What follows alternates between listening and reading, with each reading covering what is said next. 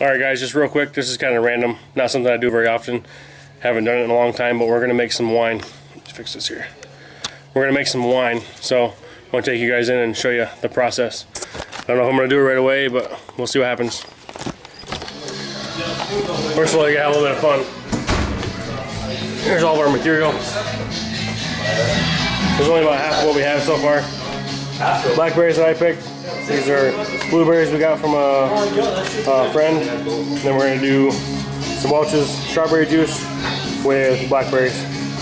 Over here we got and PBR. And these are gonna be the carboys that they actually ferment in, but now we're sterilizing the pails. So hopefully you guys can hear us over the music. But that's what we're doing right now is sterilizing. Just wash them down. We're gonna do three batches right now. I just want to get them gaskets real good. So we'll catch you guys back when we start mixing stuff. Alright, so everything's sterilized. Now we're on to our first step. We're gonna add eight pounds of sugar per uh, per, per um, pail. If the dog would put one in. There we go. but yeah, we're moving along. Then we're gonna go ahead and put water in, get the water and the uh, sugar dissolved together, and then we'll start adding ingredients. Okay, so what we're doing here is putting in our first small batch of water, just enough to get the uh, sugar to um, dissolve basically. And uh, our little Mexican friend here is stirring. so once we get that all stirred up, then we can go ahead and start adding our other ingredients. And like we were just talking, we've got cold berries but hot water. So we're probably gonna let it sit overnight before we put the yeast in because the yeast has to be like a room temperature. And we don't want to go uh, too cold extreme or too hot extreme.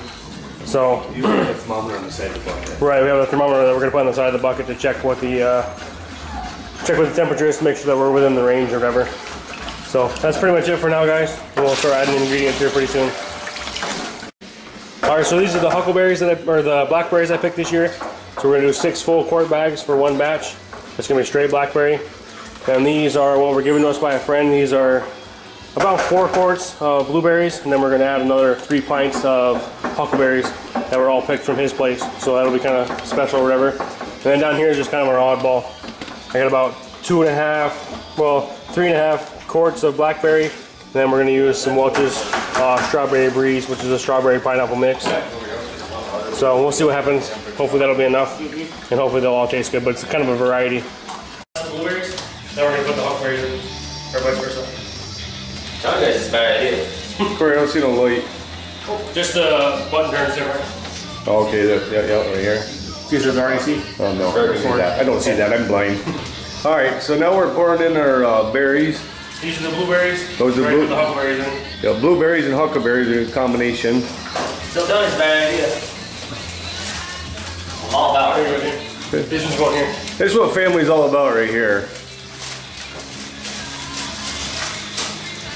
This one's over here. So it should end up with uh, about 18 gallons. Even for a weekend, so.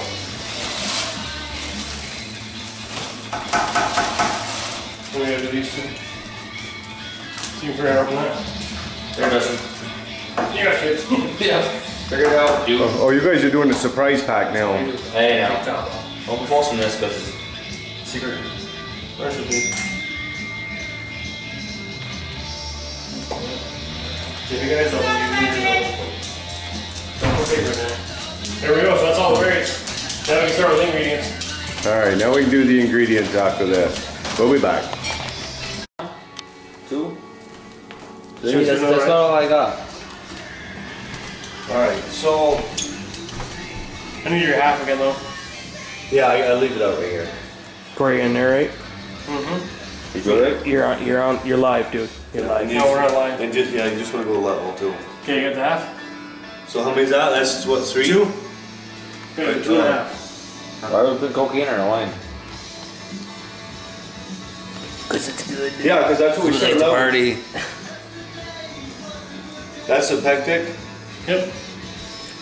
I'm gonna do the half on both of these, and then just do two on each. Ready? What? Why are you shaking? Hmm? Excited?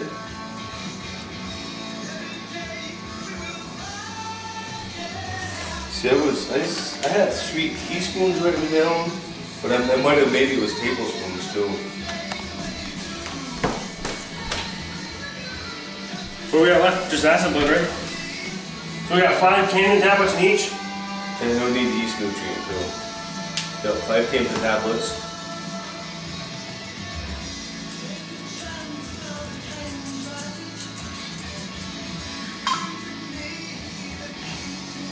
Oh, I gotta take this. Actually takes quite a little bit, you know. Make sure they're full. Corie, what are you doing? Yep. Tr- Trying to level man. No, I went Well, over. that's already two and a I half. went over on the first one a little bit. Oh. The second one's a little narrow. Okay, so now we got our pectin enzyme. And we need to move on to acid blend and yeast nutrient. Right? Yep. Well, we're done. And then you, Five, right? Or six, you wanna, you don't want it too acidity, right? No. If they're big ones, put five. If they're small ones, put six. If they're level.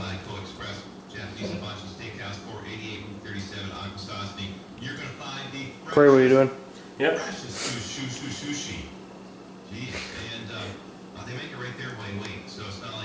This is gonna be so yummy. So you need another one? That's your acid blend, right? Yep. Perfect. That's six for this first bucket. You don't have any more jars, right? Push beard.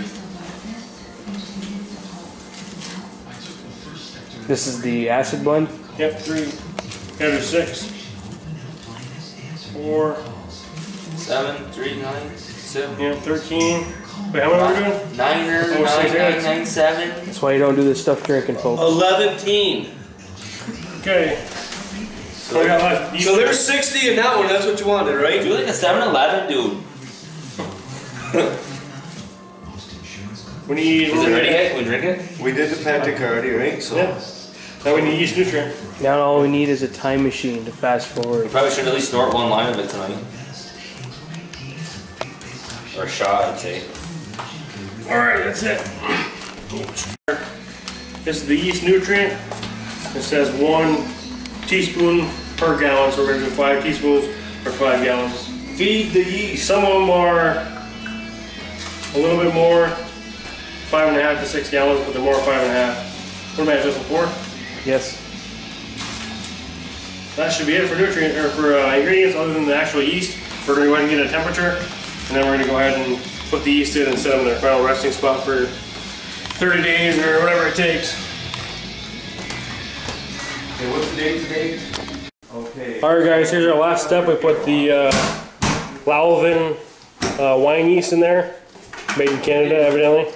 Then we put them in a safe spot where they're not gonna get bumped into or moved or whatever like that. Now we're gonna go ahead and put the uh, little air filters, water filters, percolators, whatever you want to call them. We're gonna put those on top, and then we're just gonna let them sit. So they're all sealed. They all have a gasket on the rim of the bucket. So that's pretty much it for now. So we'll see you guys back. Uh, probably gonna be a while, at least 30 days, maybe when they're bottled. These are these are Good.